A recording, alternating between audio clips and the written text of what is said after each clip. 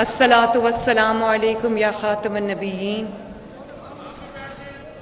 सबसे पहले, जनाब स्पीकर मैं अल्लाह ताला का सर झुकाकर आजी से शुक्र अदा करती हूँ।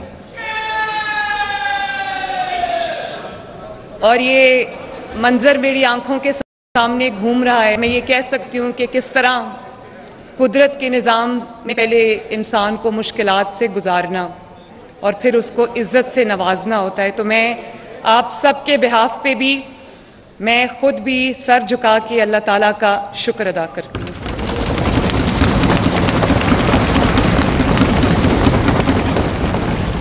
जनाब स्पीकर, मैं आपको और डेप्यूटी स्पीकर जहीर इकबाल चन्नर साहब को स्पीकर और डेप्यूटी स्पीकर मुंतखब होने पर मैं दिल की गहराइयों से मुबारकबाद पेश करती हूँ। और उम्मीद करती हूँ कि आपकी क़्यादत में ये ऐवान जो है, जमहूरी असूलों को और जमहूरीत के परचम को सरबुलंद रखेगा इन आज मुझे अफसोस इस बात का है कि आज यहाँ पर अपोजिशन के फाजिल अरकान मौजूद नहीं हैं। मेरा दिल था कि वो यहाँ होते। पॉलिटिकल प्रोसेस में डेमोक्रेटिक प्रोसेस में वो शामिल होते। क्योंकि जमहूरी कारकुन जो है, हम सब सियासी और जमहूरी कारकुन हैं। हम ये समझते हैं कि जमहूरीत में, जद्दोजहद में, सियासत में मुकाबला करना कितना ज़रूरी है। हमारे पे भी बहुत मुश्किल वक्त आए और इंतहाई मुश्किल वक्त आए और बहुत लंबा अरसा वो मुश्किल वक्त रहा, जब हर चीज़ हमारे ख़िलाफ़ थी।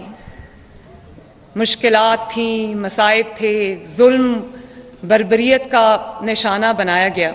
लेकिन अल्लाह ताला का शुक्र है कि यहाँ पर मेरे मौजूद हर रुकन ने और हमने बतौर जमात हमने मैदान खाली नहीं छोड़ा करना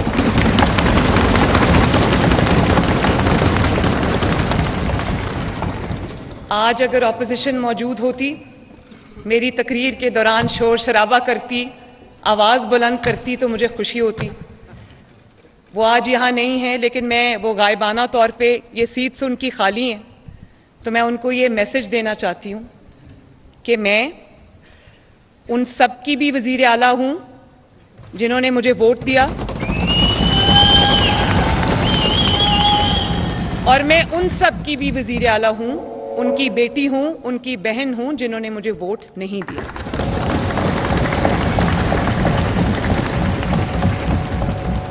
और मैं ऑपोजिशन को ये मैसेज देना चाहती हूँ कि मेरे दफ्तर के दरवाजे, मेरे दिल के दरवाजे, मेरे चेंबर के दरवाजे हर वक्त 24/7 उनके लिए भी उसी तरह खुलें, जिस तरह मेरी जमात के कारकुन के लिए खुले।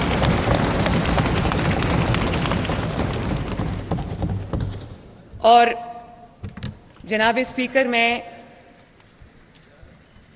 मोहम्मद नवाज़ शरीफ साहब का, मोहम्मद शहबाज शरीफ साहब का, अपनी पूरी जमात का, अपने एक एक एमपीए का, अपने एक एक कारकुन का शुक्रिया अदा करती हूँ।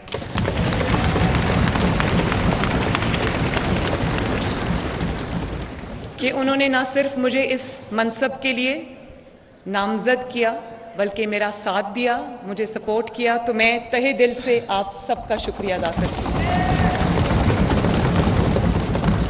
और इसके साथ मैं पीपल्स पार्टी का आईपीपी का काफ लीग का, और जो जेड लीग के एक रुकन हैं जिन्होंने हमें वोट दिया, मैं सबका तहे दिल से शुक्रिया अदा करती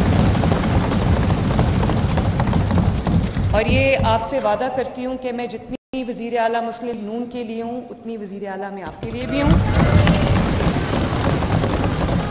और आप सब के साथ मिलके एक ड्रीम टीम की तरह मैं काम करना चाहती हूँ। मेरे दरवाजे आप सब के लिए खुले हैं। और मैं उसके बाद पाकिस्तान के, पंजाब के अवाम का भी शुक्रिया अदा करना चाहती हूँ, जिन्होंने इस मनसब के लिए मुझे नामज़द किया। और ये हर सियासी कारकुन जो एक जिद्दोजहद से गुजर कर किसी मकाम तक पहुँचता है, मेरा यहाँ पर मौजूद होना, उस हर सियासी कारकुन की खिदमात का एतराफ़ है। उसके लिए एक शाबाश है।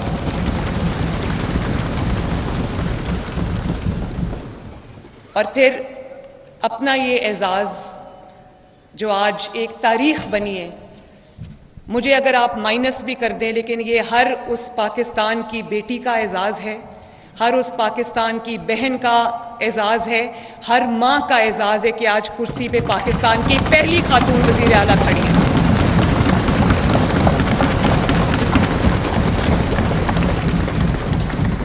और उम्मीद करती हूँ, जनाब स्पीकर, दुआ करती हूँ कि ये सिलसिला मेरे बाद भी चलता रहे और यहाँ पर कोई और खातून मेरी जगह ले जब ये ख़त्म हो। आप सब जानते हैं कि हम एक मुश्किल मरहले से गुजर कर यहाँ पर पहुँचे हैं। और ये ह्यूमन नेचर है। एक नेचुरल आउटकम होती है कि जब आप मुश्किल से, मसाइब से, जुल्म का निशाना जब आप बनते हैं, इंतकाम का निशाना बनते हैं विक्टमाइजेशन का आप निशाना बनते हैं तो लोग ये एक्सपेक्ट करते हैं कि आपके दिल के अंदर इंतकाम का जज्बा होगा, आपके दिल के अंदर बदले का जज्बा होगा। लोग डरते भी हैं। लेकिन मैं ये कहना चाहती हूँ, जनाब स्पीकर कि मेरे दिल में किसी के लिए ना इंतकाम का कोई जज्बा है, ना बदले का कोई जज्बा है।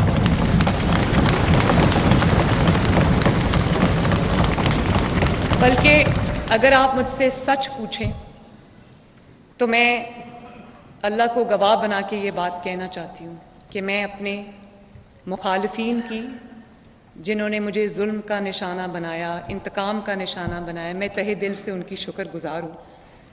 उसकी वजह यह है कि अगर वो मुझे इम्तहानात से, जो जिन इम्तहानात से गुज़र कर मैं यहाँ पहुँची हूँ, जिसमें डेथ सेल्स शामिल हैं, जिसमें कैद तन्हाई शामिल है, जिसमें बग़ैर किसी कसूर के कई साल अदालत की राहदारियों में धक्के खाना शामिल है, अपने सामने अपने वालिद को गिरफ़्तार होते देखना शामिल है। वालिद की आँखों के सामने अपने आप को गिरफ़्तार होते देखना शामिल है। अपनी माँ का गुजर जाना शामिल है।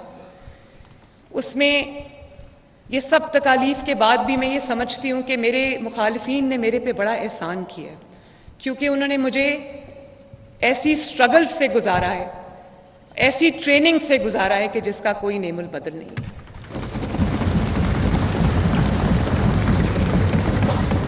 और आज जहाँ पे मैं खड़ी हूँ, इसमें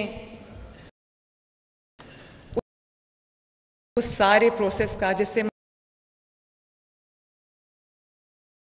मुझे मेरे मुखालफी ने गुजारा है, उसका भी बहुत बड़ा अमल दखल है। तो मैं दिल से उनका शुक्रिया भी अदा करना चाहती हूँ।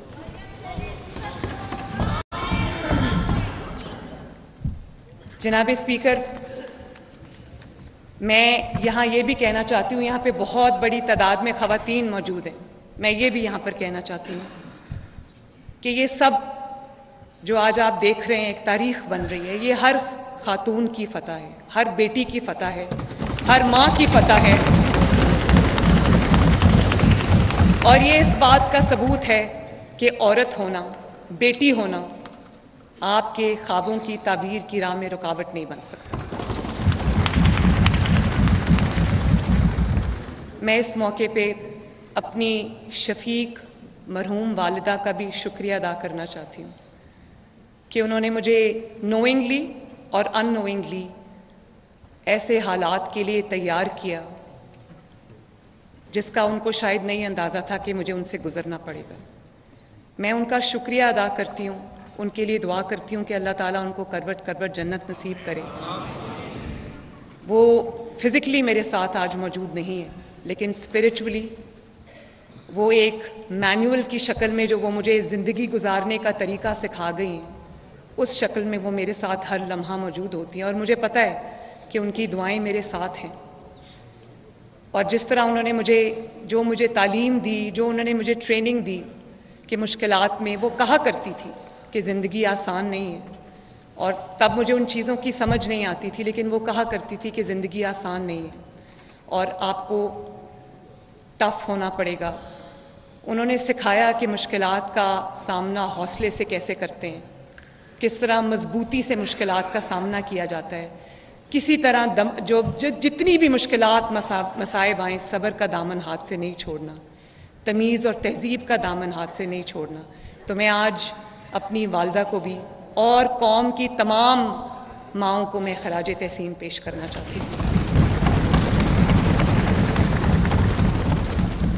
जनाब स्पीकर, मैं अपनी जो दरसगाहें हैं जहाँ से मैंने तालीम हासिल की है, मैं खसूसी तौर पर उनका भी अपने इस का, अपने जो जो प्रिंसिपल्स थी हेड थी, मैं सबका तहे दिल से उनका भी शुक्रिया अदा करना चाहती हूँ। कॉन्वेंट ऑफ़ जीजन मेरी, जहाँ मैं 10 साल रही from the pre nursery to grade tenth. उनका लाहौर कॉलेज फॉर वुमेन तब यूनिवर्सिटी नहीं थी जहाँ से मैंने एफएससी की और पंजाब यूनिवर्सिटी जहाँ से मैंने मास्टर्स किया। मैं उन सबको एक्नॉलेज भी करना चाहती हूँ। उनका शुक्रिया भी अदा करना चाहती हूँ।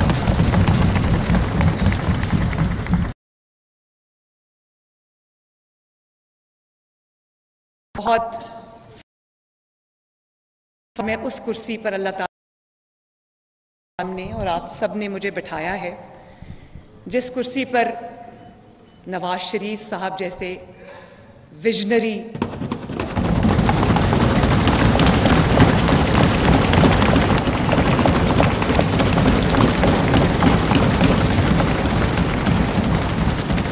एक विजनरी लीडर ने इस कुर्सी से बहुत तरक्की की, मनाजिल तय की और फिर वो उनको अल्लाह ताला ने उस एजाज़ से नवाजा, जो शायद और किसी के हिस्से में नहीं आया, जिसमें वो फिर जो एटमी पाकिस्तान है, जो अटोमिक एक्सप्लोजन्स उन्होंने किए, पाकिस्तान के दिफा को आने वाले वक्तों के लिए उन्होंने नाकबिल तस्वीर बनाया, वो एजाज़ मोहम्मद नवाज़ शरीफ के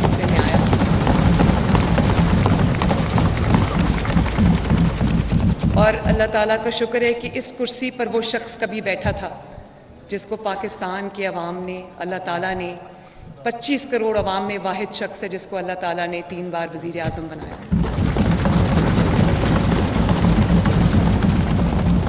और मेरी बहुत खुशकस्मती है जनाब स्पीकर, कि आज उनकी रहनुमाई, उनकी गाइडेंस उनकी हैंड होल्डिंग मुझे अवेलेबल है। जिस दिन से मैं, मेरी नामजदगी हुई बतौर वज़ी अला पंजाब, उस दिन से नवाज़ शरीफ साहब ने मेरे साथ बैठकर एक एक मिनट जो हमारा अगले पाँच साल का प्लान है, वो तरतीब दिया। उन्होंने मीटिंग्स को लीड किया।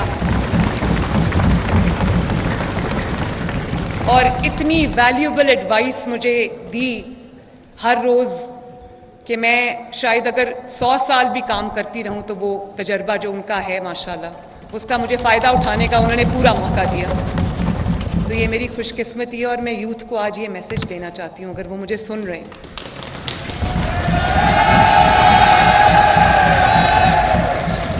यूथ मेरा बहुत बड़ा कंसर्न भी है और मेरा बहुत बड़ी मेरी ज़िम्मेदारी भी है उनके बारे में बात डिटेल में मैं अभी करती हूँ।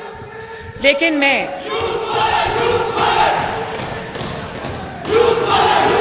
लेकिन मैं ये कहना चाहती हूँ कि मैं अपने बच्चों को, बेटों को, बेटियों को, कौम के नौजवानों को ये कहना चाहती हूँ कि अपने वालदेन की इज़्ज़त करें, उनकी ज़िंदगी में उनकी कदर करें।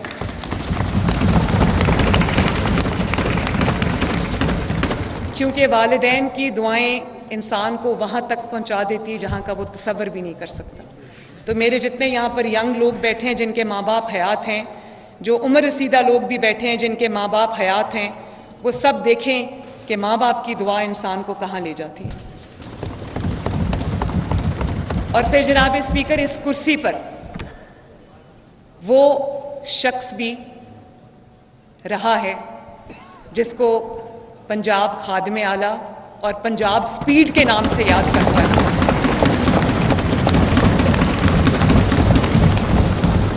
उनकी सलाहियतों का शहबाज शरीफ साहब की मैं बात कर रही हूँ। उनकी सलाहियतों का उनकी कारकर्दगी का, उनकी स्पीड का। एतराफ़ सिर्फ़ पाकिस्तानी नहीं, सिर्फ़ पंजाब के अवाम नहीं, पूरी दुनिया में उन्होंने अपनी सलाहियतों का लोहा मनवाया। और मैं ये जानती हूँ कि मेरे लिए ये जो, जिस कुर्सी पे आज मैं बैठी हूँ, अल्लाह ताला ने बिठाया है, आप सबने बिठाया है। तो मैं ये समझती हूँ कि ये एक बहुत बड़ी ज़िम्मेदारी मेरे कंधों पर आ पड़ी है। जिसमें पंजाब के साढ़े बारह करोड़ आवाम की ज़िम्मेदारी है, उसमें से ज़्यादातर वो लोग हैं जो गुर्बत और महँगाई की चक्की में मुश्किल की चक्की में पिस रहे हैं। और फिर मेरे पीछे नवाज़ शरीफ साहब और शहबाज शरीफ साहब और मुस्लिम लीग नून के जितने सीनियर रहनुमा हैं, वो सब मेरे मेंटर्स हैं। उनकी लेगेसी को आगे बढ़ाना कोई आसान काम नहीं है। मेरा मुकाबला किसी मुखालिफ से नहीं है। मेरा मुकाबला मेरी जमात के अंदर बैठे हुए जाइंट्स के साथ है। उनकी कारकर्दगी के साथ है। और न सिर्फ़ ये कि मैंने उनकी लेगेसी को अपहोल्ड करना है इन ताला, बल्कि उसको आगे बढ़ाना है। मुझे पता है मेरे साथ बहुत सारी एक्सपेक्टेशंस एसोसिएटेड हैं। मैंने उन एक्सपेक्टेशंस को सिर्फ़ मीट नहीं करना। मैंने उन एक्सपेक्टेशंस से अबव एंड बियॉन्ड मैंने परफॉर्म करना है। इस चीज़ का मुझे एहसास है इन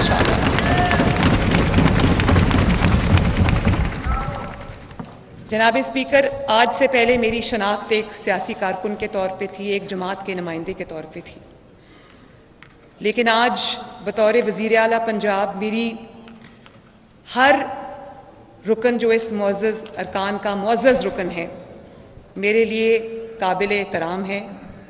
चाहे वो ट्रेजरी बेंचेस पे बैठा हो या वो अपोजिशन बेंचेस पे बैठा हो। मेरे लिए सब काबिल एहतराम है, मैं सब के मैंडेट का एहतराम करती हूँ और उम्मीद करती हूँ कि सियासी तफरीक से बालातर होकर वो सब मेरे हाथ मज़बूत करेंगे ताकि हम सब ये पूरा ऐवान मिलकर पंजाब के अवाम की सही मायनों में दिन रात एक करके खिदमत कर सके।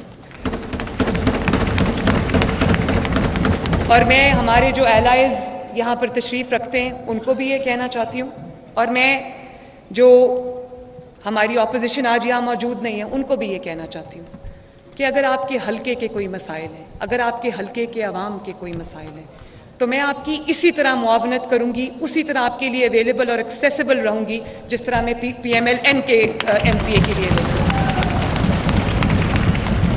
क्योंकि अब मैं मुस्लिम लीग नून की वज़ी अला नहीं। हूँ अब मैं, मुझे अल्लाह ताला ने ये मनसब दिया है तो मैं पंजाब के साढ़े बारह करोड़ आवाम की अक्रॉस पॉलिटिकल डिवाइड्स में उनकी नुमाइंदा और मुझे एहसास है इस चीज़ का कि पाँच साल बहुत थोड़े हैं, दिन के चौबीस घंटे भी बहुत थोड़े हैं। मेरे सामने आज वो बच्चा है जो इस वक्त तालीम हासिल नहीं कर रहा, स्कूल से बाहर है। तालीम की सहूलत उसको किसी ना किसी मजबूरी की वजह से मैसर नहीं है।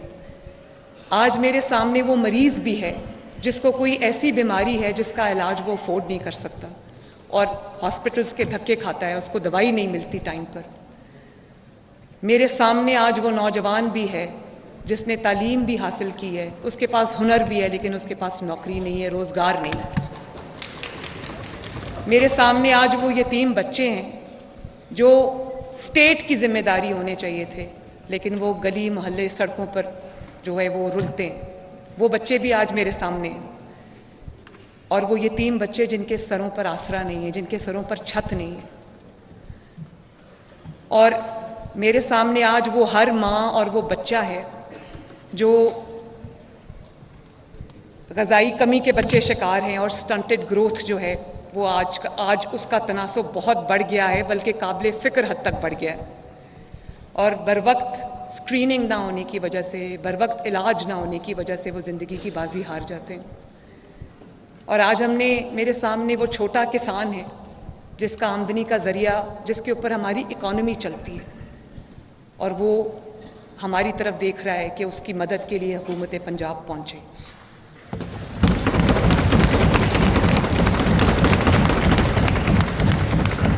मेरे सामने आज वो जब आप ट्रैवल करते हैं तो आपको नज़र आता है कि सड़कों के किनारे सुबह सुबह। सर्दी हो गर्मी हो धूप हो, छाँव हो, बारिश हो, आपको लोग ग्रुप्स में खड़े मजदूर नज़र आएँगे जो अपनी मजदूरी के लिए किसी का इंतज़ार करते हैं कि हमें आए और हमें मजदूरी मिले। तो मेरे सामने उसकी भी जो आसानी या आसूदगी है, वो भी मेरे सामने आज। और जनाब स्पीकर ये जो मेरा बहुत कठिन वक्त गुजरा है, पीछे छः सात साल 2016 के बाद आज तक उसमें एक, मुझे अल्लाह ताला ने एक एफ्लुएंट घर में पैदा किया। लेकिन ये जो मुश्किलात और मसाइब मैंने, से मैं गुज़री हूँ, अल्लाह ने गुजारा है, उससे मुझे जो पेरीफ्री पर लोग हैं, मुझे उनके साथ डायरेक्ट कांटेक्ट का मौका मिला है। मुझे उनके साथ डायरेक्ट इंटरेक्शन का मौका मिला है। मैं इस सात आठ साल मैं अवाम में रही हूँ। और मुझे उनके मसाइल का पता है। मुझे पता है कि वो आज कौन सी तो इस हुकूमत से नवाज़ शरीफ से मुस्लिम लीग नून से और जो भी आज अब, अब हुकूमत में शामिल है उनसे वो किस किस्म की तो रखते हैं। मुझे एहसास है उनकी मुश्किल का और मुझे पता है वो क्या मुश्किल हैं। इसीलिए जनाब स्पीकर कल से नहीं आज से इन ताला अभी ओथ के बाद मैं सीधा अपने दफ्तर जाऊँगी और मंशूर पर अमल दरामद आज से शुरू होगा इन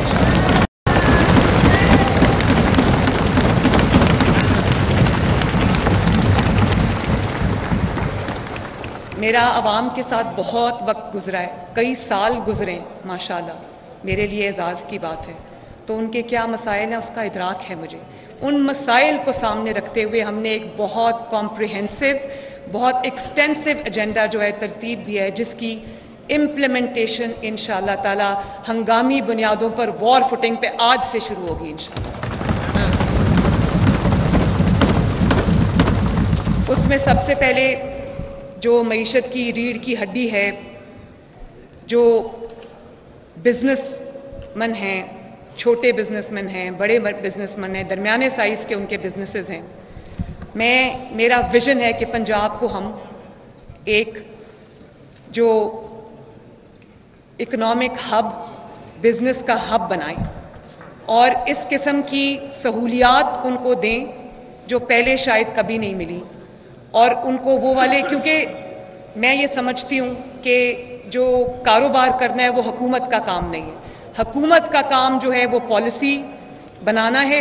हकूमत का काम इनेबलिंग इन्वायरमेंट प्रोवाइड करना है। हकूमत का काम रेगुलेशन है।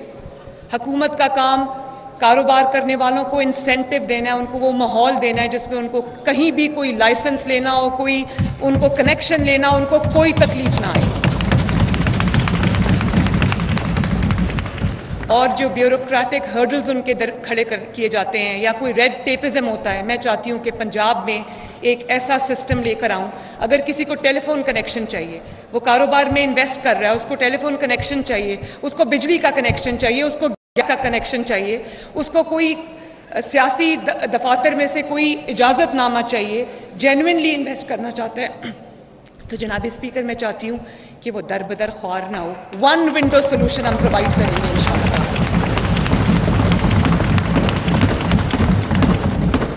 और मैं ये भी समझती हूँ कि जितने कारोबार हुकूमत चला रही है इस वक्त, उसको भी हमें पब्लिक प्राइवेट पार्टनरशिप में तब्दील करना चाहिए। मेरा काम है पंजाब में पॉलिसी बनाना, मेरा काम है पंजाब के अंदर इनेबलिंग इन्वायरमेंट प्रोवाइड करना, मेरा काम रेगुलेशन है, वो हम करेंगे, लेकिन उसके साथ साथ हम बिज़नेस कम्युनिटी को पूरा फैसिलिटेट करेंगे, ताकि लोग अपनी इन्वेस्टमेंट लेकर आएँ, जो इकोनॉमिक रिवाइवल है वो शुरू हो और तरक्की का पहिया पंजाब में इन ताला चलना शुरू हो। फिर गवर्नेंस का अफेक्टिव मॉडल देना। मैं चाहती हूँ कि बड़ा एजाइल निम्बल गवर्नमेंट का जो हमारा कॉन्सेप्ट हो गवर्नेंस का कॉन्सेप्ट हो ट्रांसपेरेंट हो, जो भी मेरे काबीना के अरकान होंगे। और ब्यूरोसी ब्यूरोक्रेसी को मैं ये कह चुकी हूँ। और मैं अपने एक, जो मेरी पहली मीटिंग थी पार्लियामानी पार्टी के साथ, कि मेरी ज़ीरो टॉलरेंस है करप्शन के लिए। ऐसा ट्रांसपेरेंट ऐसा ट्रांसपेरेंट हम कोई मैकेनिज़्म लाएँगे इन ताला कि जो ये रिश्वत और ये हर जगह पर जो अपना अपना ये जो पिलफ्रेज है, इसको हम, इसकी रोकथाम के लिए हम एक इफ़ेक्टिव सिस्टम लेकर आएँ। गवर्नेंस का एक इफ़ेक्टिव मॉडल लेकर आएँ, जिसमें टाइम लाइन्स हो, हर मंसूबे को जब कंसीव किया जाता है, उसको टाइम लाइन्स के साथ बाउंड किया जाए और उसके बाद उन टाइम लाइन्स की कंप्लीशन जो है, वो उनकी मॉनिटरिंग वो मेरी ज़िम्मेदारी इन वो मैं करूँगी। और ये भी मैंने देखा है कि जब आप हुकूमत संभालते हैं, उसके बाद आपका आवाम के साथ जो एक्चुअली ताल्लुक़ है, वो टूट जाता है।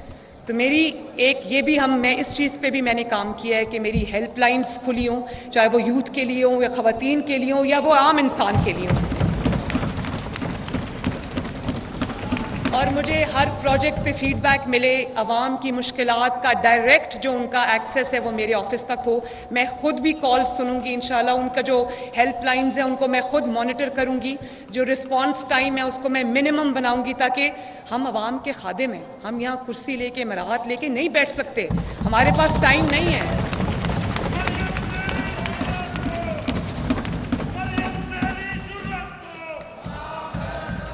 और मैं जनाब स्पीकर क्योंकि मेहरबानी मेहरबानी। जनाब स्पीकर मैं अब क्योंकि सबसे पहले अब रमज़ान मुबारक का जो महीना है, वो बहुत दूर नहीं है।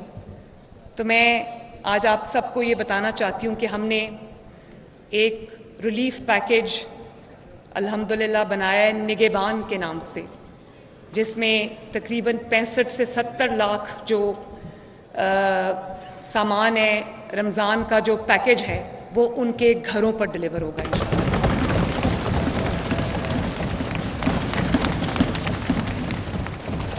क्योंकि आवाम को उनका हक भी कई दफ़ा मजबूरी होती है, गवर्नमेंट की मैं समझती हूँ उनका हक इस तरह, जब मैं कतारों में उनको लगा देखती हूँ तो मुझे तकलीफ़ होती है।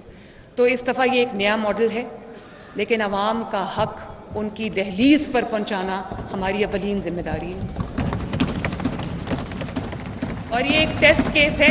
इसमें जो हमारी मशीनरी है ब्यूरोक्रेसी है, उनको भी एक हिस्टोरिक और एक हीरोइक एफर्ट करनी पड़ेगी, लेकिन वो कमिटेड हैं इस बात पर। उन्होंने मुझे गारंटी दी है कि वो उसको इफ़ेक्टिव उसकी इम्प्लीमेंटेशन के लिए वो दिन रात एक करेंगे इन इसके अलावा हम रमज़ान, सस्ते रमज़ान बाज़ार भी लगाएँगे, उनकी भी इफ़ेक्टिव मॉनिटरिंग शुरू होगी।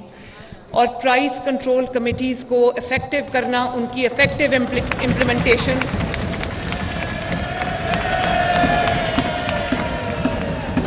और आज से आज से मैं उन, और आज से मैं उन जो प्राइस कंट्रोल कमेटीज़ हैं, उनके इजलास शुरू कर रही हूँ, ताकि जो भी मुकर करदा नर्ख है, उससे एक रुपया जायद जो है, वो आवाम को चार्ज ना किया जाए। और जनाब स्पीकर जब मैंने काम करना शुरू किया तो मुझे अंदाज़ा हुआ कि पंजाब के पास, बल्कि पूरे पाकिस्तान के पास कोई रिलायबल डेटा नहीं है, सवाए बीआईएसपी डेटा के। लेकिन बीआईएसपी का जो डेटा है वो तमाम जो ज़रूरतमंद लोग हैं, वो उनको कवर नहीं करता। और क्योंकि अगर आपका जो, जिसको रिलीफ पहुंचानी है आपने, और जो शख्स गुर्बत की लकीर से नीचे अपनी ज़िंदगी बसर कर रहा है, या उससे थोड़ा ऊपर भी है, साठ हज़ार रुपये से नीचे नीचे जितने अफराद हैं, जिनकी मंथली इनकम साठ सत्तर हज़ार रुपया है, उससे नीचे जितने भी लोग हैं, वो सब मुस्तकीन हैं, जिनकी मदद करना हम सब पे फ़र्ज़ है। डेटा नहीं है। और जो डेटा की अदम मौजूदगी है, उसकी वजह से हमें बहुत मुश्किल का सामना करना पड़ा। तो अभी हमें अवेलेबल डेटा पर रिलाई करना पड़ा है, लेकिन मैंने चीफ सेक्रेटरी साहब से कहा है कि तीन महीने के अंदर अंदर पूरे पंजाब का सर्वे होना चाहिए और हमारे पास एक्यूरेट डेटा होना चाहिए कि पंजाब में किसको किस चीज़ की ज़रूरत है।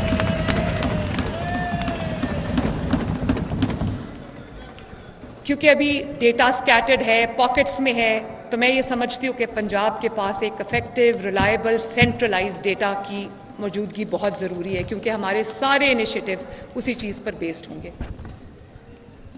अब मेरे दिल के बहुत करीब जो एक मेरा एजेंडा है, मेरा मिशन है, वो पंजाब के जो यूथ है, उनकी ज़िंदगियों में बेहतरी लेकर आना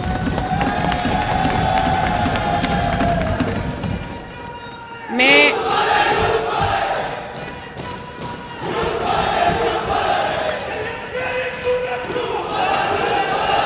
उसके लिए जनाब स्पीकर थैंक यू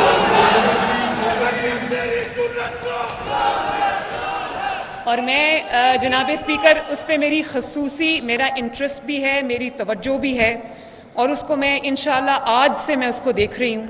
और उसमें मेरे जो मेरा पूरा प्लान है वो रेडी है और उसमें बहुत तरह के मंसूबे हर तरह की जो यूथ है, उसको केटर करने के लिए मैंने जो अपने प्रोग्राम्स हैं, वो बनाए हैं। और फिर मैं ये चाहती हूँ कि अगर कोई बच्चा पढ़ना चाहता है, कोई बच्चा मेरिट पे मेरिटोरियस है, पूरा उतरता है, लेकिन उसके पास वसाइल नहीं है आला तालीम के लिए, उसके लिए हकूमत पंजाब उसके लिए वसाइल फराहम करेगी इन और उसके लिए हम ना सिर्फ़ एक जो पंजाब एजुकेशन एंडाउमेंट फंड जो है पीफ ना सिर्फ़ उसको रिवाइव करेंगे, आगे बढ़ाएँगे। फ़ी रीइम्बर्समेंट स्कीम है जिसमें जो फ़ी दे चुके हैं, हम उनकी फ़ीस उनको वापस करेंगे। बल्कि मैं चाहती हूँ कि बहुत ब्राइट बच्चे, लड़के, लड़कियाँ हमारे ऐसे हैं, जो जिनके पास वो कैपेबिलिटी है, जिनके पास वो मेरिट है, जिनके पास वो सलाहियतें हैं कि उनको आईवी लीग यूनिवर्सिटीज़ में और दुनिया की रीनाउंड यूनिवर्सिटीज़ में उनको दाखला मिले, लेकिन वो उनके वसाइल इस चीज़ की इजाज़त नहीं देते। तो मैं आज हम थोड़े से शुरू कर रहे हैं, क्योंकि वसाइल की भी कमी है और हकूमत के पास कोई ऐसा इकोनॉमिक सिचुएशन आप सबको पता है। तो मैं आज एक हम मेरिट क्राइटेरिया डिसाइड करेंगे, जिसके अंदर इन ताला जो तादाद हम मुकर करेंगे, उस तादाद में जो बच्चा उस मेरिट पे, जो नौजवान बच्चा, बच्ची उस मेरिट पे पूरा होगा, उसका उतरेगा, उसका जो इंटरनेशनल रिनाउंड यूनिवर्सिटीज़ हैं, चाहे वो आईवी लीग यूनिवर्सिटीज़ हैं या वो दूसरी यूनिवर्सिटीज़ हैं, उसमें पूरा खर्चा जो है वह हुकूमत पर पंजाब अदा करेगी इन इसके अलावा यूथ के लिए मेरे पास एक यूथ लोन प्रोग्राम है। नवाज़ शरीफ साहब ने 2013 में पहली ज़िम्मेदारी जो मुझे दी थी, बड़ा एक्सटेंसिव उन्होंने प्राइम मिनिस्टर्स यूथ प्रोग्राम उन्होंने लॉन्च किया था, जिसकी बहुत, जिसके नीचे बहुत सारी स्कीम्स थी। तो वो सब स्कीम्स को इनशाला हम रिवाइव करेंगे और उसमें हमारे इंटरेस्ट फ्री लोन्स शामिल हैं, उसके अंदर हमारा यूथ की ट्रेनिंग स्कीम्स शामिल हैं, उसमें स्मॉल बिज़नेस लोन स्कीम शामिल है उसमें यूथ लैपटॉप स्कीम्स शामिल हैं। लैपटॉप्स चाहिए, लैपटॉप्स देंगे आईपैड्स चाहिए आईपैड्स देंगे।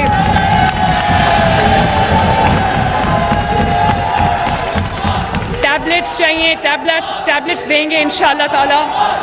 और जो आपकी रिक्वायरमेंट है, हम हुकूमत पंजाब के वसाइल में नौजवानों को के लिए और स्टूडेंट्स के लिए मैं मुहैया करूँगी, हाजिर करूँगी इन और उसके अलावा हमारे इंटर्नशिप प्रोग्राम्स हैं।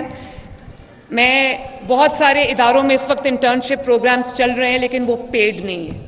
तो मैंने अपने जैसे पुलिस का इदारा है, बड़ा अच्छा इफेक्टिवली इस वक्त काम कर रहा है, और भी इदारे हैं तो मैंने उनको ये कहा है कि इंटर्नशिप प्रोग्राम्स को और ज़्यादा बढ़ाएँ और पेड इंटर्नशिप प्रोग्राम जिसमें कम से कम जो एक आपके पास इंटर्न आता है, उसकी पच्चीस हज़ार महीने की जो है वो होनी चाहिए।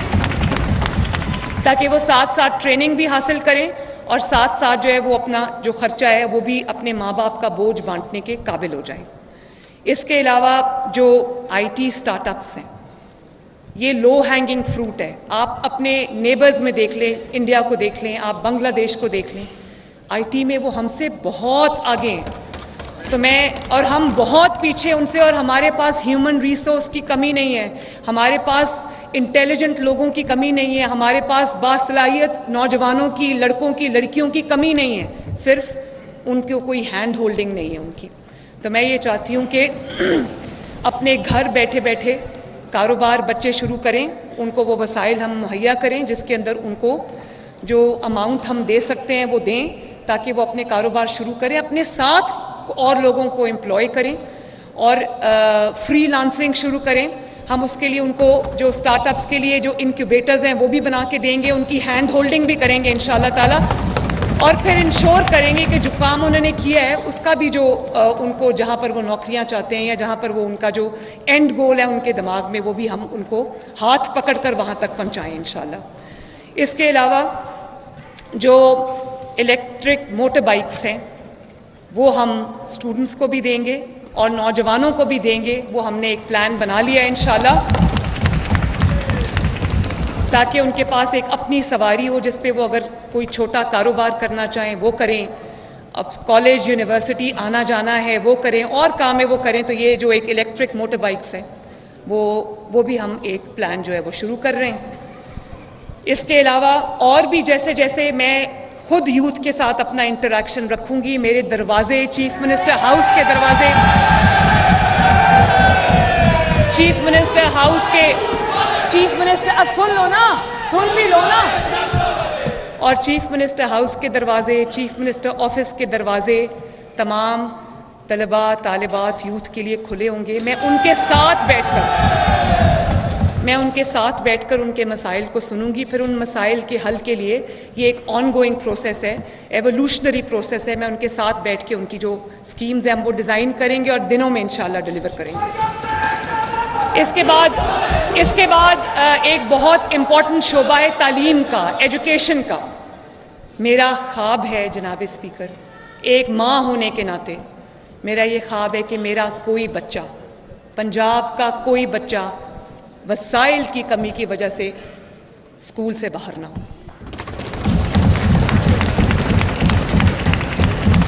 और ना सिर्फ़ ये कि उनको एक स्कूल में पढ़ने का मौका मिले, उनको एक अच्छा तालीमी माहौल मिले, अच्छे क्लासरूम्स मिले, अच्छी टीचिंग क्वालिटी मिले उनको, अच्छी टीचर्स की क्वालिटी मिले, और बेहतरीन उस्ताद मिले, बेहतरीन माहौल मिले, बेहतरीन तालीम मिले, बेहतरीन जो उनको जिस चीज़ की भी ज़रूरत है, खेल के मैदान हैं, उनकी जो जो भी चीज़ है, उसके लिए उनको बेहतरीन सहूलियात मिले तो उसके लिए हम एक्सटेंसिव टीचर ट्रेनिंग प्रोग्राम्स शुरू करेंगे, नए टीचर्स को भी इंडक्ट करेंगे।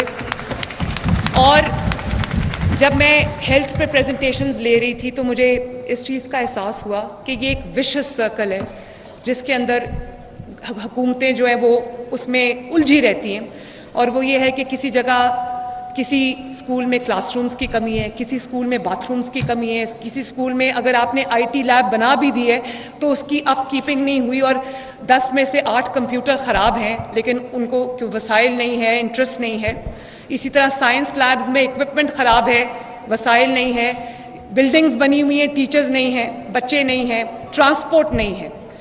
तो मैं एक ऐसा मॉडल पे मैं काम कर रही हूँ जिसमें पब्लिक प्राइवेट पार्टनरशिप पे पाकिस्तान पंजाब के अंदर तकरीबन 49,000 पब्लिक स्कूल्स हैं। तो मैं ये चाहती हूँ कि मैं कोई ऐसा मॉडल लेकर आऊँ जिसके अंदर गरीब का बच्चा मुफ़्त पढ़े और उसमें जो उसकी कोई ऐसा इंसेंटिव मैं प्राइवेट कम्युनिटी को दूँ मैं इन्वेस्टर को दूँ जो उसमें इन्वेस्ट भी करे स्कूलों की हालत बेहतर भी बनाए उसको एक सस्टेनेबल मॉडल बनाए।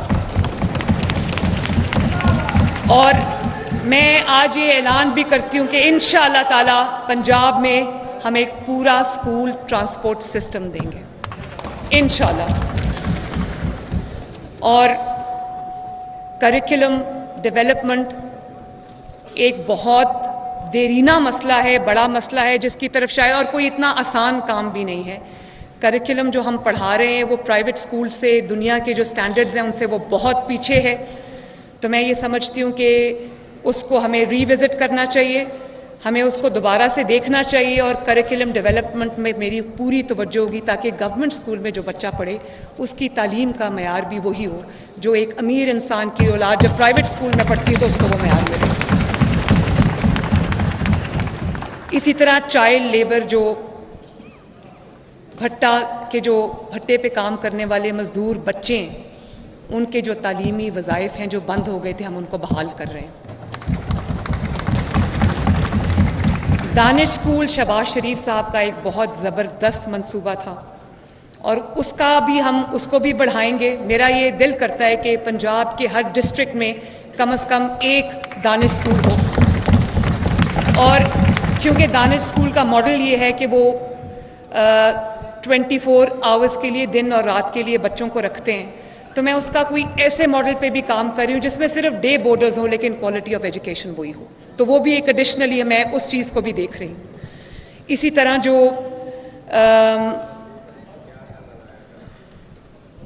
स्किल डेवलपमेंट के जितने भी इदारे हैं, उसके भी अपग्रेडेशन उनको नई मॉडर्न लाइंस पे उसवार करना, नए डिसिप्लिन को उसमें ऐड करना, ये भी मेरी बहुत, इस पर भी मेरी खसूसी तवज्जो होगी। इसी तरह special education children with different abilities जिसमें ऑटिज़म शामिल है। मैं जब इस पे प्रेजेंटेशन ले रही थी ऑनरेबल uh, स्पीकर तो मुझे बड़ा अफसोस भी हुआ सुन के कि छोटी सी एक प्रॉब्लम होती है बच्चे को जिसका इलाज अगर बर वक्त हो जाए तो वो डिसबिलिटी से बच सकता है। फॉर एग्ज़ाम्पल जिनको हेयरिंग प्रॉब्लम्स हैं उनको पता ही नहीं होता बहुत साल तक कि उनको क्या प्रॉब्लम है। अगर उनकी स्क्रीनिंग हो जाए उनको वो कोई ऐसी डिवाइस मिल जाए जिससे उनकी जो वो हेयरिंग कैपेबिलिटी है या वो वो जो है, वो बेहतर हो जाए तो उससे उसकी ज़िंदगी में इतनी बड़ी तब्दीली आती है, उसको आप आराम से मेन स्ट्रीम स्कूल में बिठा सकते हैं। इसी तरह बच्चों की नज़र कमज़ोर है, उनको पता नहीं होता, आँखों की कुछ नज़र की प्रॉब्लम्स हैं। अगर वो सही वक्त पे डायग्नोज हो जाए, उसका इलाज हो जाए तो बहुत सारे बच्चे जो हैं, वो बेहतर तलीमी सहूलियात से इस्ता हासिल कर सकेंगे। तो मैंने इस तरह की बहुत सारे मसाइल हैं। और उन बच्चों की सेफ्टी उनको हम ट्रांसपोर्ट देते हैं, उनके लिए अभी इदारे बने हुए हैं। लेकिन जैसे मैंने पहले कहा था कि मेरा ये दिल करता है और मैं ये करूँगी इन ताला कि पंजाब के हर डिस्ट्रिक्ट में स्पेशल एजुकेशन का एक आला इदारा बनेगा इन ताला, जिसमें तमाम जो भी जो डिसेबल बच्चे हैं, उनका इलाज, उनकी लुक आफ्टर और उनके लिए हम बेहतर ट्रांसपोर्ट भी फराहम करेंगे, उनके लिए सेफ़ और सिक्योर जो इन्वायरमेंट है, उसको भी इन ताला हम बेहतर बनाएँगे। फिर जनाब स्पीकर हेल्थ एक बहुत ऐसा सब्जेक्ट है जिस पे काम हुआ भी है, लेकिन अभी भी बहुत काम होने वाला है। तो मेरी पहली जो प्रायोरिटी है, वो ये है कि जो बेसिक हेल्थ यूनिट्स हैं B H Us rural health centres हैं टी एच क्यूज़ हैं उसमें जो डॉक्टर्स की प्रेजेंस को काबिल डॉक्टर्स की प्रेजेंस को यकीनी बनाना और वहाँ पर पूरा इक्विपमेंट जो जिस लेवल की वो आ, है वहाँ पर पूरा इक्विपमेंट प्रोवाइड करना अद्वियात जो हैं वो प्रोवाइड करना ये मेरी अवलिन ज़िम्मेदारी है ये मेरी प्रायोरिटी लिस्ट में शामिल है। और इसके अलावा मैं ये चाहती हूँ कि हर पंजाब के डिस्ट्रिक्ट में एक ऐसा state of the heart hospital हो, जिसके अंदर अगर कोई एक शहर का मरीज़ है, उसको इलाज के लिए दूसरे शहर ना जाना पड़े। और वो कहते हैं, इसको ये लाहौर ले जाओ, इसको पिंडी ले जाओ। तो मैं ये चाहती हूँ कि पाँच साल के बाद जब मैं हुकूमत छोड़ के जाऊँ तो पंजाब का कोई शहर ऐसा ना हो, जहाँ पर एक state of the art hospital ना हो। और बजाय इसके कि हम कैंसर हॉस्पिटल्स अलग से बनाएँ, लिवर एंड किडनी हॉस्पिटल्स अलग से बनाएँ तो मैं ये चाहती हूँ कि जो एक, वहाँ पर एक मेजर हॉस्पिटल है, उसमें यूनिट्स बने, कैंसर का यूनिट भी बने, उसके अंदर जो हमारा किडनी और लिवर के यूनिट्स भी बने, और उसके अंदर जो भी जिस स्पेशल, चिल्ड्रन हॉस्पिटल्स भी बने, वो एक बहुत ज़रूरत है आवाम की तो हर शहर में मैं ये फैसिलिटीज़ इन ताला पाँच साल के अंदर अंदर हम देंगे। और मैं जनाब स्पीकर ये ऐलान करती हूँ कि तमाम इमरजेंसीज जो हैं गवर्नमेंट हॉस्पिटल्स की, उनमें आज से हम इन ताला फ्री मेडिसिन शुरू करेंगे।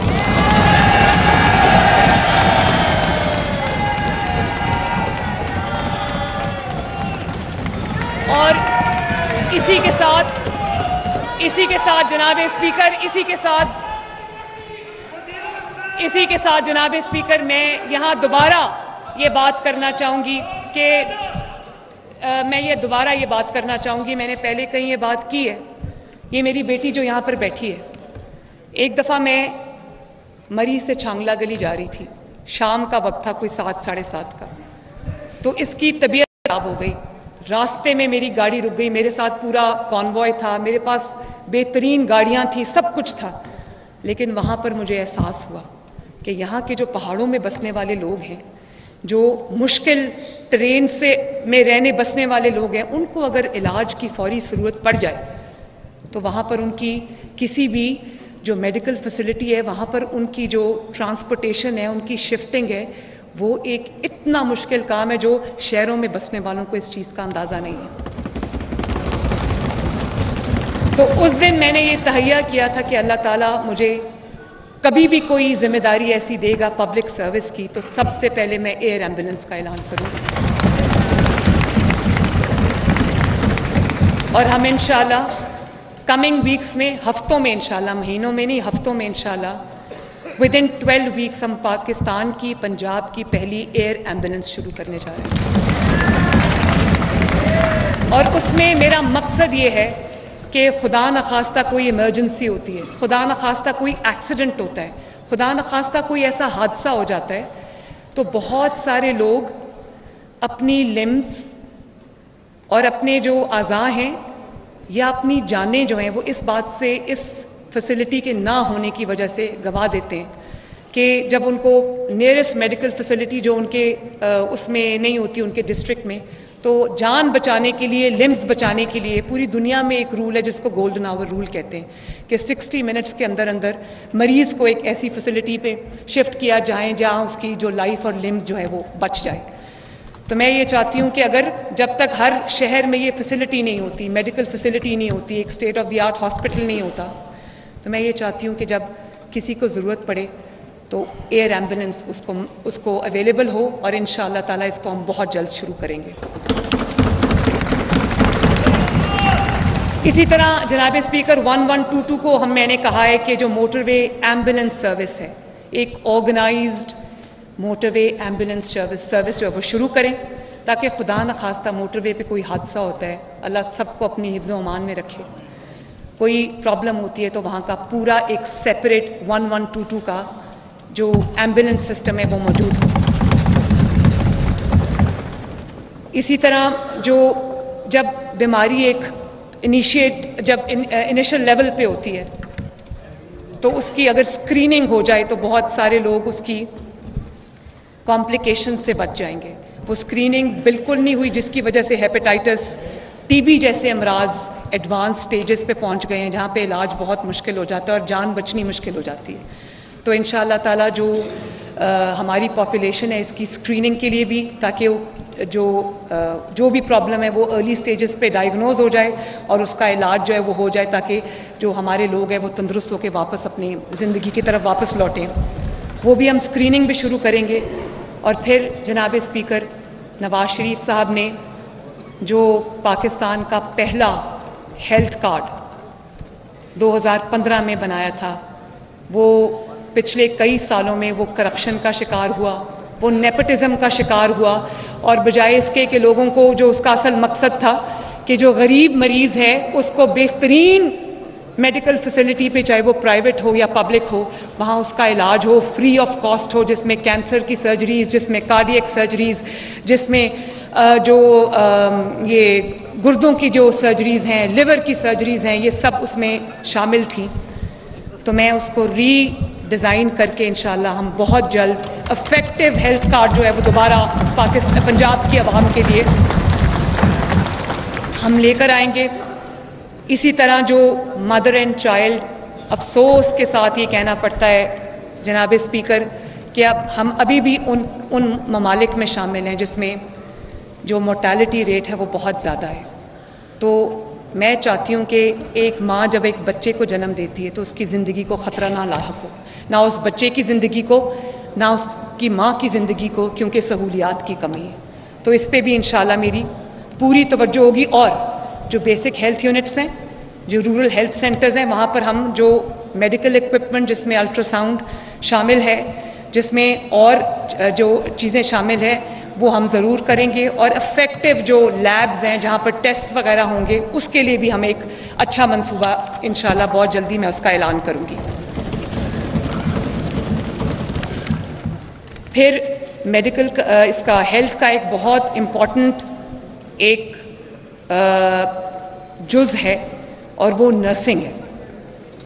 मेरा नहीं ख्याल कि अभी तक नर्सिंग जो नर्सेस के लिए जो काम किया जाना चाहिए उस लेवल का काम हो रहा है। हालाँकि शहबाज शरीफ साहब ने बहुत काम किया इसके लिए लेकिन नर्सिंग की डिमांड ज़्यादा है और हमारे पास नर्सेस कम हैं।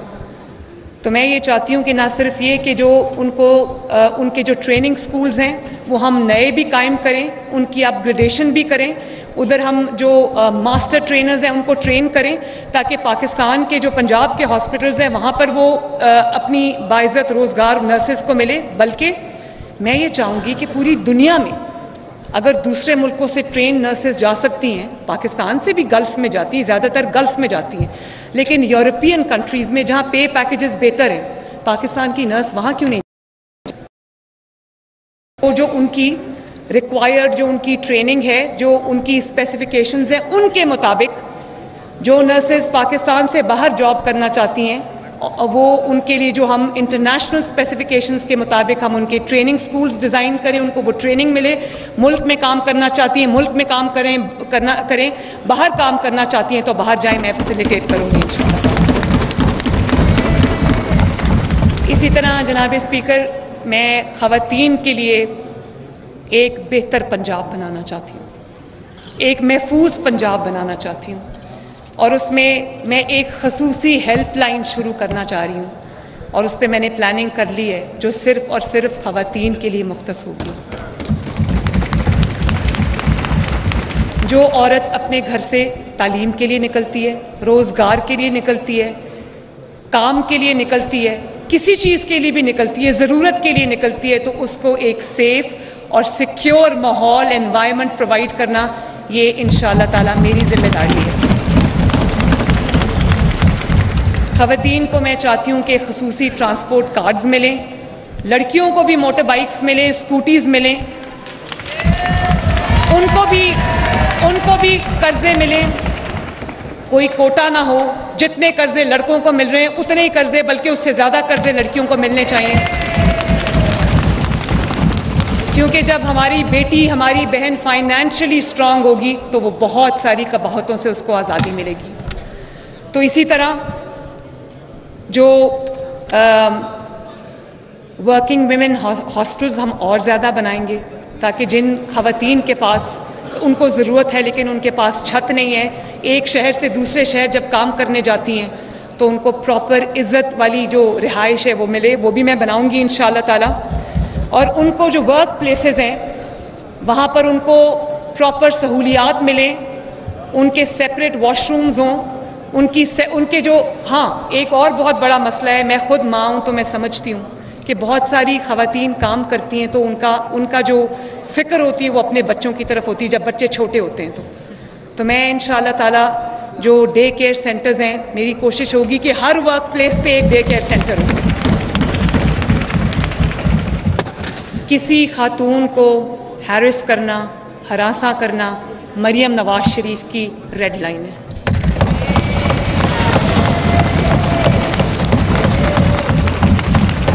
अगर किसी खातून को कहीं मेरी ज़रूरत पड़ती और यहाँ पर मैं उस पुलिस ऑफिसर को शाबाश देना चाहती हूँ, जिसने कल एक खातून की जान बचाई।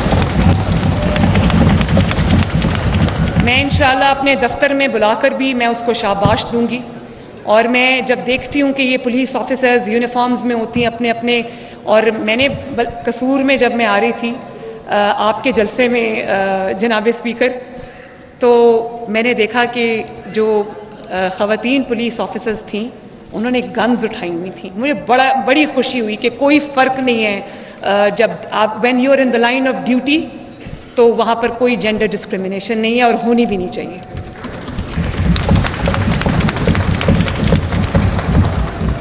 तो ख़वातीन को फाइनेंशियली एम्पावर करने के लिए सोशली एम्पावर करने के लिए प्रोफेशनली एम्पावर करने के लिए मरियम नवाज़ शरीफ 24 घंटे काम करेगी इन ताला।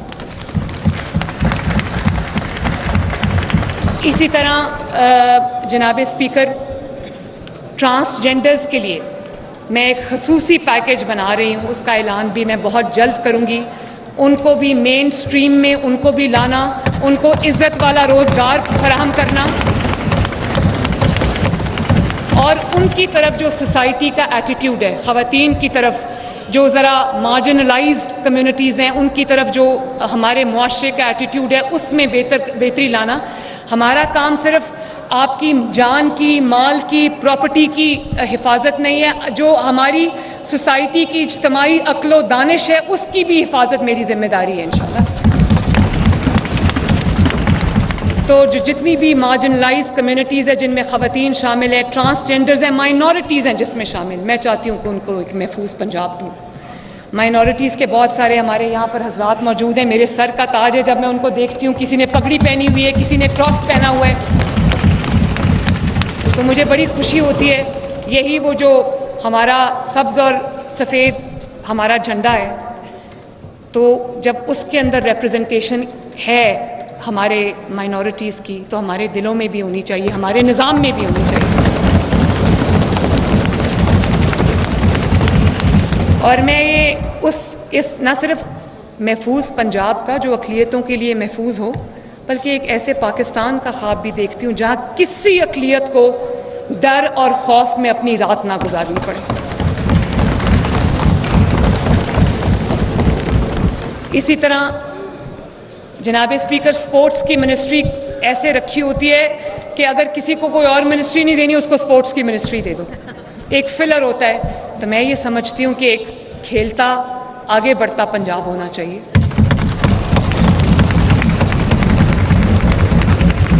जिसमें हर यूसी में एक ग्राउंड मुख्त हो, जहाँ पर बच्चे जो हैं वो खेल सकें। और उनको स्पोर्ट्स इंफ्रास्ट्रक्चर भी पूरा मौजूद हो उनके पास। उनके लिए ट्रेनिंग सेंटर्स हो उनके लिए टैलेंट हंट प्रोग्राम्स हो और मैं इसको बहुत सीरियसली करूँगी इन इस प्रोग्राम को मैं खेलता पंजाब का नाम दूँगी। और मैं इस चीज़ पे भी अभी ये भी जेर गौर है तजवीज़ के जो पंजाब के 49,000 स्कूल्स हैं उनकी जो ग्राउंड्स हैं हम उनको ओपन कर दें शाम को बजाएँ उस विसिनिटी के खेलें वहाँ पर।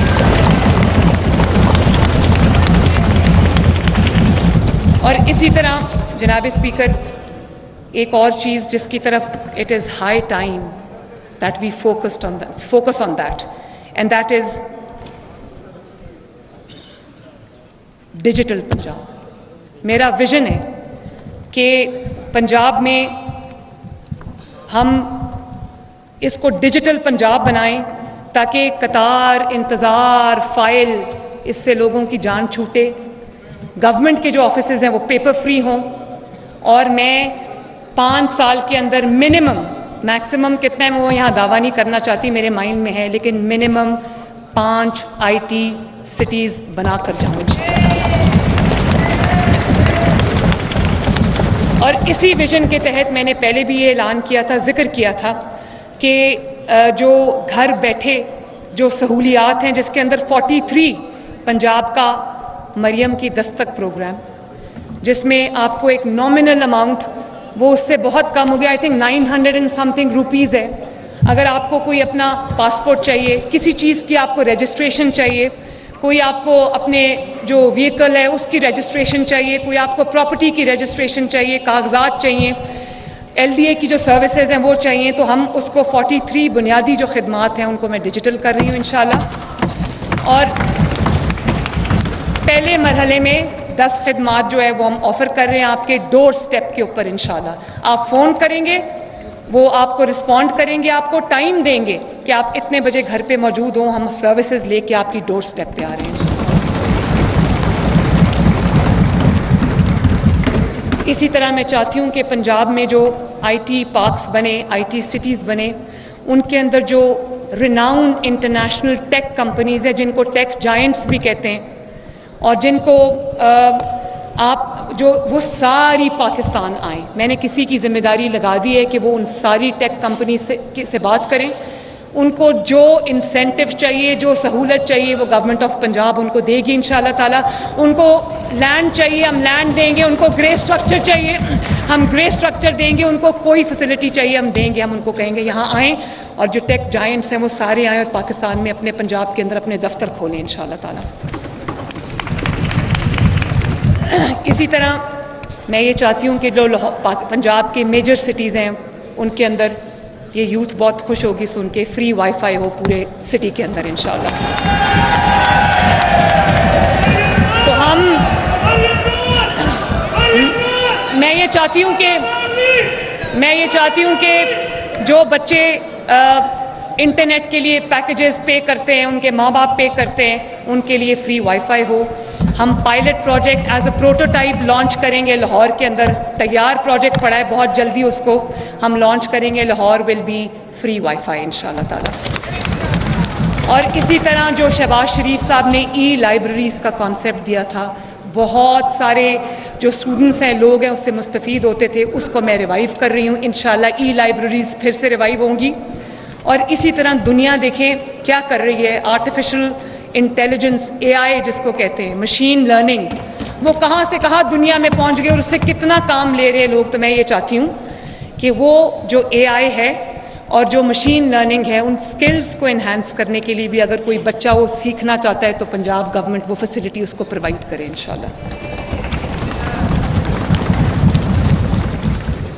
और फिर ये जो रोड और ट्रांसपोर्ट है, मेरा विजन है जनाब स्पीकर, कि इंटरसिटी और इंट्रासिटी पाँच साल के बाद कोई ऐसी सड़क ना रहे जो ख़राब हो।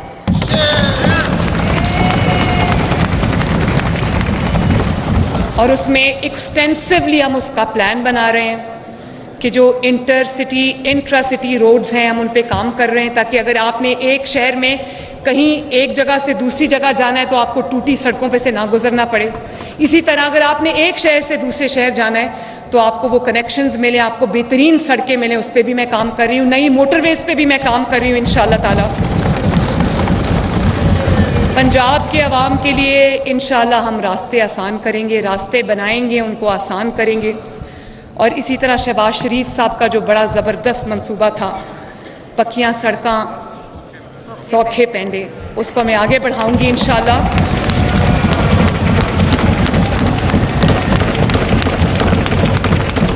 और जो फार्म टू मार्केट रोड्स हैं ताकि अगर फार्मर्स अपनी प्रोड्यूस को मार्केट में पहुंचाना चाहें तो उस पर उसको जितनी कम तकलीफ़ हो बल्कि कोई तकलीफ़ ना हो ये मेरा ख्वाब है। और फिर जो बड़े आ, शहर हैं इन तमाम जहाँ जहाँ पर ज़रूरत है, जैसे फैसलाबाद है, जैसे सियालकोट है, जैसे गुजरावाला है इन ताला इन तमाम डिविजनल हेडकोार्टर्स में हम मेट्रो बस मंसूबे शुरू करेंगे इन और मेरा ये ख्वाब है जनाब स्पीकर, लाहौर से इसको शुरू करूँगी। कि कोई ऐसी सड़क ना रहे जिस पे पब्लिक ट्रांसपोर्ट एक रिस्पेक्टेबल पब्लिक ट्रांसपोर्ट आपको अवेलेबल ना हो। और इसी तरह जो साउथ पंजाब है, उस पर मेरी खसूसी तवज्जो होगी। वहाँ पर और मैं अपने एम से इंशाल्लाह मैं रोज़ाना की बुनियाद पर उनसे मीटिंग्स करूँगी तो मैं अपनी मीटिंग्स का आगाज़ साउथ पंजाब के एम से करूँगी इंशाल्लाह।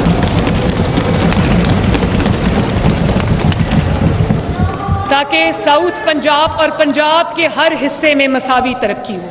मेरा कोई फेवरेट नहीं है, मेरी कोई फेवरेट जगह नहीं है। मैं पंजाब की वज़ीर आला हूँ, पंजाब के साढ़े बारह करोड़ आवाम की जिम्मेदार हूँ। इन और इसी तरह, जनाब स्पीकर, अब इलेक्ट्रिस इलेक्ट्रिक जो ट्रांसपोर्ट है इलेक्ट्रिक बसेस का ज़माना है तो आहिस्ता आहिस्ता हमें इवेंचुअली उसी तरफ़ हमें जाना पड़ेगा। तो बतदरीज उसके अंदर तब्दीली लेकर आना, क्योंकि वो बहुत कॉस्ट इफ़ेक्टिव भी है। उसके लिए जो जितने भी चार्जिंग पॉइंट्स हैं, वो हम उसको सबको प्लान कर रहे हैं, ताकि लोगों को फ्री मिले सब कुछ, और वो इलेक्ट्रिक व्हीकल्स की तरफ़ जो है, वो उसको मूव करें, क्योंकि इवेंचुअली हमें उसी मॉडल की तरफ़ जाना पड़ेगा। इसी तरह जनाब स्पीकर, ये बहुत इंपॉर्टेंट चीज़ है। महफूज पंजाब मेरा ख्वाब है। मेरा प्रोग्राम का नाम महफूज पंजाब है, जिसके अंदर लाहौर के अंदर पहला सेफ़ सिटी प्रोजेक्ट लगा था। मुझे आईजी साहब से मैंने पूछा, मैंने कहा आईजी साहब, सेफ़ सिटी बनने के बाद लाहौर में जो क्राइम है, उसका रेट कितना कम है उन्होंने कहा कि 25 से 30 परसेंट क्राइम जो है, वो लाहौर में नीचे गया। है और सेफ़ सिटीज़ के जो कैमराज हैं, वो सिर्फ़ क्राइम के लिए नहीं है क्राइम की डिटेक्शन के लिए नहीं है। वो अगर कोई ट्रैफ़िक के लिए भी आप इस्तेमाल कर सकते हैं ट्रैफ़िक के निज़ाम को बेहतरी लाने के लिए। और आप देखें, अब हम वो वाली, उसके अंदर एक्सपर्टीज़ लेकर आ रहे हैं, उसके अंदर वो वाला इक्विपमेंट लेके आ रहे हैं कि अगर मोटरसाइकिल पे भी कोई असला छुपा के जा रहा होगा, वो पकड़ा जाएगा इन ताला। तो मैं फ़र्स्ट फ़ेज़ में पंजाब के 18 सिटीज़ को इन ताला सेफ़ सिटी प्रोजेक्ट्स बना रहे हैं। और पाँच साल के बाद, जब हम ये हुकूमत छोड़ के जा रहे होंगे तो पंजाब का हर डिस्ट्रिक्ट इन ताला, वहाँ पर extensive safe safe city project होगा इन और उससे जो क्राइम है, उसकी ट्रैकिंग क्रिमिनल की ट्रैकिंग बहुत आसान हो जाती है। और जो ये हमारे मौजूदा आईजी साहब हैं, मैंने देखा है, मैंने प्रेजेंटेशन ली, बहुत काम किया इन्होंने, थाना कल्चर को बेहतर भी बनाया है। मैं आज भी एक थाने में जा रही हूँ, मैं विज़िट करने जा रही हूँ, मैं देखना चाहती हूँ कि वो पब्लिक टच पॉइंट है। जब कोई मजलूम, कोई साइल कोई फरियाद लेके थाने में जाता है, मैं खुद जाके देखूँगी कि उसके साथ क्या सलूक होता है। और एफआईआर की रजिस्ट्रेशन में आसानी, उसके फॉलो अप में इंशाल्लाह, मैं I will keep tab on that इंशाल्लाह। एंड ये मॉडल पुलिस स्टेशन हम बनाएँगे, और ज़्यादा बनाएँगे। मॉडल वुमेन पुलिस स्टेशन हम बनाएँगे, और हर पोलिंग स्टेशन सॉरी हर पुलिस स्टेशन के अंदर हमारा एक डेस्क होगा जो सिर्फ़ खातन के साथ डील करेगा, ताकि इज़्ज़त और एहतराम के साथ उनके साथ पेश आया जाए। टैक्सला में जो वाक़ हुआ पुलिस गर्दी का जो वाक़ हुआ, ये इसके लिए मेरी ज़ीरो टॉलरेंस होगी। मैं इसकी बिल्कुल एक इन्वेस्टिगेशन में ऑर्डर करूँगी और मैं देखूँगी कि कहाँ लैप्स हुआ है, किसकी गलती और कितनी और क्यों है, और उसको जो है हम ज़रूर देखेंगे। इसी तरह मैंने आईजी साहब को ये कहा है कि जो हमारा टर्न अराउंड टाइम है, जो रिस्पांस टाइम है, जब किसी को पुलिस की ज़रूरत पड़ती है, वो उसको कॉल करता है। उन्होंने कहा कि फाइव मिनट्स से ट्वेंटी मिनट्स है। मैं ट्वेंटी मिनट्स को भी इन ताला नीचे लेकर आऊँगी। क्योंकि मैं खुद जेल में रही हूँ डेथ सेल में रही हूँ, अडयाला जेल में भी रही हूँ नैब की जेल में भी रही हूँ और कोट लखपत में भी रही हूँ। तो मुझे ये पता है कि सहूलियात के ना होने की वजह से कैदियों को कितनी मुश्किल का सामना करना पड़ता है। एक रात मेरी ब्लड शुगर ड्रॉप कर गई स्पीकर साहब तो मैं आवाज़ें देती रही, वहाँ पर कोई नहीं आया। तो ये जो सिस्टम है मेडिकल फैसिलिटीज़ का जेल के अंदर, उनकी प्रॉपर स्क्रीनिंग्स ताकि उनके, उनको जो भी बीमारियाँ हैं, उनका, उनकी डायग्नोसिस हो, उनका इलाज हो, और उनको वही सहूलियात मिले जो हम जेल से बाहर लोगों को देते हैं मेडिकल की। वो भी मैं इन ताला एक कॉम्प्रिहेंसिव प्रोग्राम शुरू करूँगी इसी तरह पंजाब का, पाकिस्तान का एक बहुत इंपॉर्टेंट एरिया है एग्रीकल्चर ज़रात और वहाँ पर मेरी ज़्यादातर तो एक छोटे किसान पर होगी इन हम स्मार्ट एग्रीकल्चर जोन्स बनाएँगे। मैं जिस चीज़ की सबसे ज़्यादा कमी है जनाब स्पीकर वो मैकनाइजेशन है। हम अभी भी पुराने तरीक़ों से काम कर रहे हैं, पुराने तरीक़ों से हार्वेस्ट हो रहा है, पुराने तरीक़ों से आ, हम चल रहे हैं उसकी वजह से हमारा जो यील्ड है वो बहुत नीचे आती है। तो मेरी पूरी कोशिश होगी कि हम मैकनाइजेशन करें। अभी भी आपको पता है कि वो जब किसानों ने मुझे इनपुट दी टोके वाली जो मशीन होती है उसमें अभी भी किसान का हाथ कटता है। तो मेरी ये कोशिश होगी कि जो मशीनरी है ज़रूरी एग्रीकल्चर के लिए जितनी भी जो रिक्वायर्ड है हम उसको रियायती कीमत पर किसानों को हम वो फराहम करें। और देखें, पंजाब में हर साल मशीनरी ना होने की वजह से मैकेनाइजेशन ना होने की वजह से, नाकस ज़रूरी मशीनरी होने की वजह से 30 लाख टन गंदम और 35 लाख टन चावल ज़ाया होता है। और जिसकी मालियत 600 अरब रुपए बनती है। अब आप सोचें अगर हम उसको बेहतर कर लें तो हम किधर खड़े हों अपने उसमें। तो जिस किसान को, जिस किस्म की जो मशीनरी चाहिए, Punjab government one window operation करेगी। मैं ये एक छत के नीचे हम अभी अपना फ़र्स्ट प्रोटोटाइप बना रहे हैं। उस पर बहुत काम हो चुका है इन बहुत जल्द उसकी लॉन्च होगी। एक हमारा पूरा एक सेंटर ऐसा बनेगा, जिसको मेरा ये क्योंकि वहाँ पर ज़रूरत ज़्यादा है, इसको मैं शुरू सोच रही हूँ कि साहिवाल और काड़ा से करूँ। और वहाँ पर हर जगह बनेगा, लेकिन वहाँ से हम इसकी शुरुआत करेंगे, क्योंकि वहाँ से जो डिमांड है वो आई है। और वहाँ पर वन विंडो ऑपरेशन के तहत एक छत के नीचे अगर कोई किसान एंटर होता है, उसको वहाँ पर ज़रूरी कर्ज मैारी खाद मेयारी बीज बीज अभी तक हम बाहर से एक्सपोर्ट करते हैं इंपोर्ट करते हैं। तो आप देखें कि और हमारे पास एग्रीकल्चर यूनिवर्सिटीज़ हैं, हम अभी तक अपना बीज बेहतर नहीं कर सके। क्योंकि रिसर्च एंड डेवलपमेंट के लिए हमारे पास पैसे नहीं है, ना हमारी तवज्जो है इस तरफ़। तो मेरी तवज्जो वहाँ भी होगी। और इसी तरह वन विंडो ऑपरेशन के तहत एक पंजाब एक अब जब किसान जब एंटर होगा तो उसकी हैंड होल्डिंग पूरी चाहिए उसको मशीनरी चाहिए, उसको कर्ज चाहिए, या उसको बीज चाहिए, उसको खाद चाहिए इन ताला वो वहाँ पर मिलेगी उसको। और वहाँ पर मेरी कोशिश ये है कि हम वहाँ पर गोडाउन्स भी बनाएँ, गोदाम भी बनाएँ, ताकि अगर किसी किसान के पास गोदाम की फैसिलिटी नहीं है तो वो वहाँ पर उसको मिले। इसी तरह एक पाकिस्तान में जो सिट्रस फ्रूट है, पंजाब में स्पेशली सरगोदा की साइड पे, इतना अच्छा वो एक मंसूबा हो सकता है, जिसके अंदर हम हम उसको जब एक्सपोर्ट करें तो हमारी एक्सपोर्ट्स कितनी बढ़ सकती है? हमारे फ्रूट का सिट्रस का स्पेशली जो जायका है, वो दुनिया में कहीं भी नहीं है। उसकी डिमांड भी है, लेकिन अफसोस किस बात का है कि जो बीमारियाँ लगती हैं, उसकी वजह से हमारी जो सिट्रस फ्रूट की प्रोडक्शन है एक्सपोर्ट है, वो बहुत नीचे आई है। तो मैं उसकी तरफ़ भी देख रही हूँ कि हम किस तरह से उसकी जो प्रोडक्शन है, उसकी जो क्वालिटी है, उसको हम बेहतर बनाएँ। उसका जो एंड प्रोडक्ट है, जो उसके पॉलिशिंग यूनिट्स हैं, वो सब हम एक्सपोर्ट जो ओरिएंटेड पॉलिसीज़ हम बनाएँ ताकि वो आ, उसको एक्सपोर्ट कर सकें और वो हमारा एक बहुत अच्छा एक ये वेंचर होगा। इसी तरह लाइफ स्टॉक है। जो रूरल एरियाज़ में बसने वाले लोग हैं उनका लाइवलीहुड इस पर बेस करता है। तो मैं एक खसूसी पैकेज उसके लिए भी ला रही हूँ। हम मवेशी फराहम करेंगे मुफ़्त देना होगा, मुफ़्त देंगे, कहीं किसी को हैंड होल्डिंग की ज़रूरत पड़ी, वो देंगे। देखें फुट एंड माउथ डिज़ीज़ इतनी ज़्यादा अफेक्ट करती है इस चीज़ को। हमारी quality of meat quantity of meat इससे जो है वो बहुत अफेक्ट हुई है।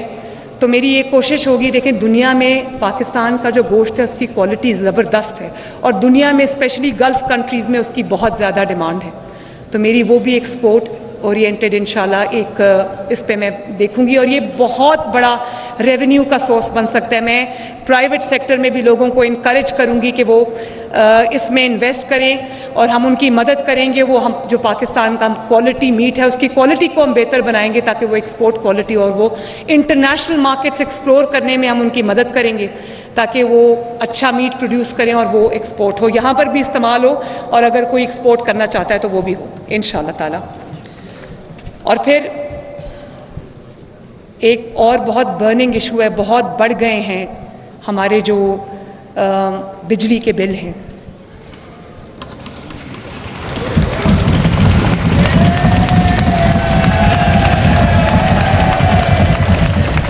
तो मैं ये एक बहुत मुश्किल एरिया है जिसके अंदर फ़ौरन रिलीफ देना शायद इतना आसान काम नहीं है लेकिन मैंने टीम को बिठा दिया कि इवेंचुअली हमें सोलर की तरफ़ सोलराइजेशन की तरफ़ जाना पड़ेगा। और आ, मतलब पूरी जो हमारी पॉपुलेशन है उसको सोलराइजेशन की तरफ़ जाना पड़ेगा। लेकिन मेरा ये ख्वाब है कि जो छोटा कंज्यूमर है जो 300 यूनिट्स एंड बिलो उनको जो सोलर पैनल्स हैं वो हम दें। और ताकि उनको जो बिजली के बिल हैं और वो रियायती जो उनके जो लॉन्ग टर्म लोन्स हैं, उसको हमें उनको, ताकि महीने का जब उनको बिल आए, या महीने की जो उनको किस्त देनी पड़े, कुछ तो हम खुद अपने पास से उसमें डालेंगे। लेकिन जो उनकी फाइनेंसिंग है, उसमें अगर जो उनको महीने की किस्त देनी पड़ती है, वो जो बिल आज देते हैं, वो उससे बहुत कम हो, ताकि उनको रिलीफ मिले। उस पर भी मैं काम कर रही हूँ और बहुत जल्दी इन वो मैं पॉलिसी भी लेकर आऊँगी। और इसी तरह जनाब स्पीकर, अब टाइम भी हो रहा है ओथ का टाइम हमने 2:30 का दिया हुआ है तो मैं इसको ख़त्म करूँगी जल्दी जल्दी। हमने जो अपनी छत, अपना घर, उसमें हम, मेरी कोशिश है कि ये बहुत ज़्यादा बने, लेकिन एक लाख घरों से हम शुरू करना चाहते हैं। और अब हमारे पास वो वो आउट ऑफ़ हमारे पास एक मिनट बस बस और हमारे पास और हमारे पास एक मिनट एक मिनट। बाद में नारे, इंशाल्लाह, बाद में। और जो अब हमारे पास लैंड की वो अमाउंट नहीं है, वो क्वांटिटी नहीं है, वो उस तरह का लैंड अवेलेबल नहीं तो अब हमें वर्टिकल जाना पड़ेगा। इन ताला इस पे भी मैं काम कर रही हूँ और बहुत जल्दी हम ये हाउसिंग स्कीम जो है अपनी लॉन्च करेंगे। इसी तरह हमारी एक और बहुत इंपॉर्टेंट स्कीम है सुथरा पंजाब, साफ़ सुथरा पंजाब इन उसमें जो भी गली मोहल्लों में स्पेशली रूरल एरियाज़ के अंदर, जो टूटी हुई सड़कें, गलियाँ, मोहल्ले, रास्तों में जो बिखरी हुई गंदगी है सुएज का जो निज़ाम है, उबलते जो गटर हैं, मैंने इनको कहा है चीफ सेक्रेटरी साहब को कि डिस्ट्रिक्ट्स के आपस में मुकाबला करा दें कि जिसकी डिस्ट्रिक्ट सबसे ज़्यादा क्लीन होगी, उसको इन ताला गवर्नमेंट ऑफ़ पंजाब ऑनर भी करेगी एक्नॉलेज भी करेगी इन और तमाम अजला का स्कोर कार्ड बनेगा। इन सारी परफॉर्मेंसेस पे बेस्ड और वो स्कोर कार्ड मेरे पास आएगा इन